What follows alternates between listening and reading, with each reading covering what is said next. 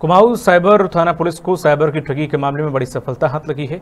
Team के द्वारा करोड़ों की साइबर ठगी के मामले में एक आरोपी को गिरफ़्तार किया गया है। टीम के द्वारा दिल्ली स्थित तुगलकाबाद एक्सटेंशन से आरोपी को गिरफ़्तार किया है। मामले का खुलासा करते हुए साइबर थाने के इंचार्ज ललित मोहन जोशी ने बताया कि साइबर थाने में रानीखेत निवासी सुरेश आर्य ने मुकदमा दर्ज कराया था, जिसमें उनके द्वारा बताया गया है कि उनके बेटे को सेल पेट्रोलियम इंटरनेशनल लंदन में नौकरी दिलाने के नाम पर एक करोड़ पचासी लाख रुपए की ठगी की गई थी, जिसके बाद टीम के द्वारा मुकदमा दर्ज कराते हुए आरोपी की तलाश शुरू की और नाइजीरिया के लेगोस निवासी आरोपी ओबी फ्लिप को दिल्ली से टीम गिरफ़्तार किया है।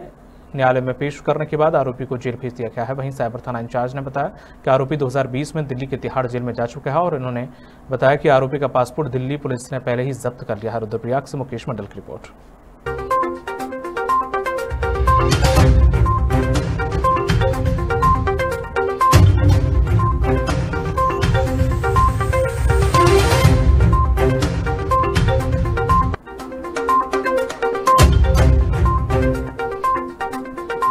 का व्यक्ति है, जिसको हमने तुगलकाबाद एक्सटेंशन नहीं दी। एक साइबर ठगी का मामला था।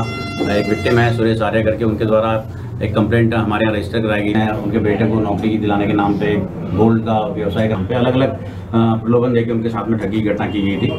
करीब एक करोड़ पिचासी लाख की घटना उनके साथ किया जाना इस केस में हमारे द्वारा टेक्निकल एनालिसिस किया गया और जिन ईमेल आईडी से उस पर टेक्निकल एनालिसिस किया गया मोबाइल नंबर्स को देखा गया ये नाइजीरियन व्यक्ति